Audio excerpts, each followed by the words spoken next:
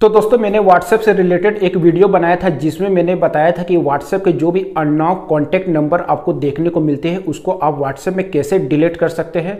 तो इस प्रोसेस को बहुत से यूज़र ने फॉलो किया था और व्हाट्सएप के जो भी कॉन्टैक्ट नंबर होते हैं, उसको डिलीट किया था। पर बहुत से यूज़र को एक प्रॉब्लम देखने को मिल रही थी कि व्हाट्सएप का जो भी कॉन्टैक्ट नंबर उसको डिलीट करते थे तो फिर भी वो कॉन्टैक्ट नंबर उनको व्हाट्सएप में देखने को मिल रहा था और बहुत से यूज़र को यहाँ पे डिलीट का ऑप्शन भी देखने को नहीं मिल रहा था। तो ये दोनों अगर आपको प्रॉब्लम देखने को मिल रही है तो आज का ये वीडियो आपके लिए काफ़ी इंपॉर्टेंट है, क्योंकि ये दोनों प्रॉब्लम का सोल्यूशन मैं आपको इस वीडियो में बताने वाला हूँ और साथ में मैं बताने वाला हूँ कि व्हाट्सएप के कॉन्टैक्ट नंबर आप कैसे डिलीट कर सकते हैं। तो दोस्तों, इस वीडियो में आपको बताने वाला हूँ कि व्हाट्सएप का जो भी कांटेक्ट होता है, उसको कैसे डिलीट कर सकते हैं और इसके लिए आपको क्या प्रोसेस कंप्लीट करना है, वो मैं आपको इस वीडियो में पूरा क्लियर करने वाला हूँ। तो यहाँ पे सबसे पहले बात करते हैं कि आपके मोबाइल में गूगल डायलर अगर देखने को मिलता है और गूगल डायलर में अगर आप यहाँ पे कोई भी कॉन्टैक्ट को डिलीट करते हैं तो व्हाट्सएप में फिर भी वो कॉन्टैक्ट आपको देखने को मिलेगा, क्योंकि व्हाट्सएप का जो नंबर होता है, वो ऑटोमेटिक सिंक्रोनाइज हो जाता है। इसलिए आपको व्हाट्सएप में जाके उस कॉन्टैक्ट को डिलीट करना पड़ता है और डिलीट करने के लिए क्या प्रोसेस कंप्लीट करना पड़ता है, वो मैं आपको इस वीडियो में क्लियर करूँगा। तो सबसे पहले आप यहाँ पे व्हाट्सएप को ओपन कर लें। व्हाट्सएप को ओपन करने बाद इस प्रकार का इंटरफेस मिलेगा तो यहाँ पे आपको नीचे में मैसेज वाला ऑप्शन मिल जाएगा। इस मैसेज वाले ऑप्शन पे क्लिक करना है। जैसे आप यहाँ पे मैसेज वाले ऑप्शन पे क्लिक करते हैं तो जितने भी कॉन्टैक्ट है वो आपको यहाँ पे देखने को मिल जाए तो बहुत से पुराने जो कॉन्टैक्ट होते हैं तो उसका जो आप यहाँ पे प्रोफ़ाइल देख के समझ जाते हैं कि वो जो कॉन्टैक्ट है यहाँ पे चेंज हो चुका है, कोई दूसरा यूज़र यूज़ कर रहा है।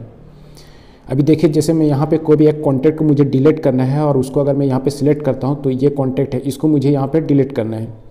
तो चलिए मैं इसको यहाँ पे सिलेक्ट कर लेता हूँ। जैसे मैं यहाँ पे सिलेक्ट करूँगा तो देख सकते हैं इस कॉन्टैक्ट में बताया जा रहा है कि ये जो नंबर है, अब बिज़नेस अकाउंट के लिए यूज़ किया जा रहा है।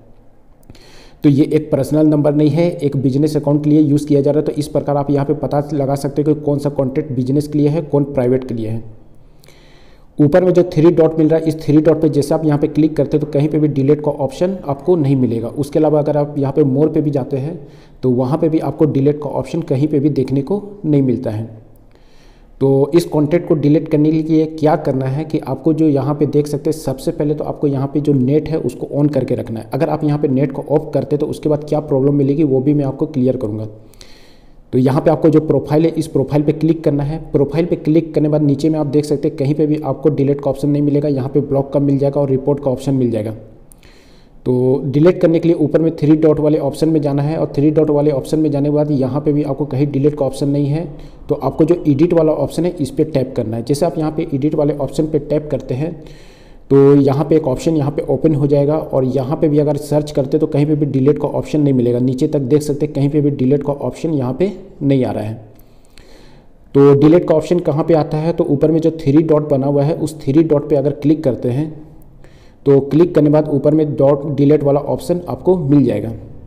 और डिलीट वाले ऑप्शन पे क्लिक करने बाद ये आपको मूव टू बिन पे क्लिक कर देना तो ये अकाउंट आपका डिलीट हो जाएगा। पर दोस्तों, अगर आपका यहाँ पे नेट चालू नहीं रहेगा तो फिर भी ये व्हाट्सअप यहाँ पे डिलीट नहीं होगा। देखिए, मैं आपको दिखा देता हूँ, डिलीट करने बाद फिर से मैसेज में जाता हूँ।